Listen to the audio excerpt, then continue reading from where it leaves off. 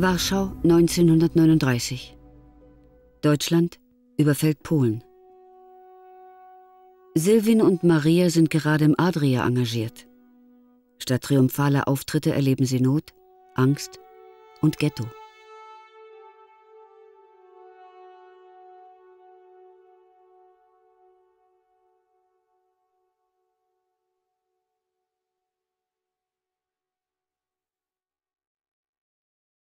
Die Schweine-Nazi haben gekommen, haben die Kinder kleine durch die Scheibe geschleudert auf die Straße, vierter Stock. Dritter Stock war das. Vom dritten Stock jüdische Kinder haben die genommen in der Hand und haben geschmissen durch das Fenster. Es sind keine Liege, ich soll nicht aufstehen hier aus meiner Küche. Solche Geschichte haben die getrieben. Und die große Lastauto, Marschalkowska Straße, Ecke Hoja, haben die so, auf Trottoir darf man nicht gehen, auch für Deutschen muss man in der Mitte gehen. Die jungen Menschen, wenn der Auto schnell gerannt, haben die gesprungen, aber die alte Polen, alte Jeden, die war immer gefahren.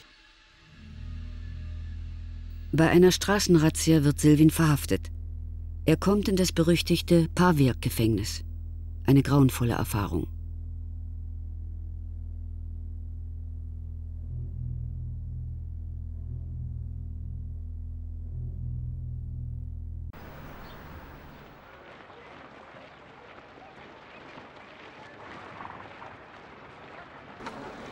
In dieser Zeit beginnt Silvin sich als Frau zu verkleiden. Wie hier in der Archivaufnahme.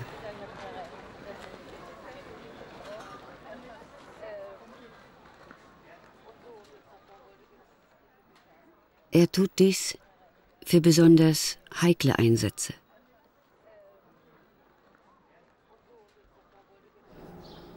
Der Deutsche Hof, berüchtigter Treffpunkt der SS und der Gestapo.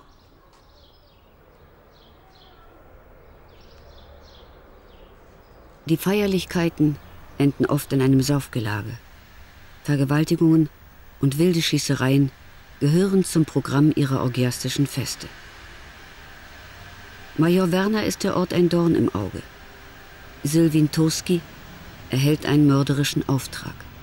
Diesmal getarnt als Sängerin. Das pełno ich siedziało tutaj. To całe i to całe należało do jednego. Tu było pełno stołów, oni tu obiady żarli, kawy pili, wszystko. Ein große Hochzeit. Hochzeit. Tu stała ta wacha z karabinem.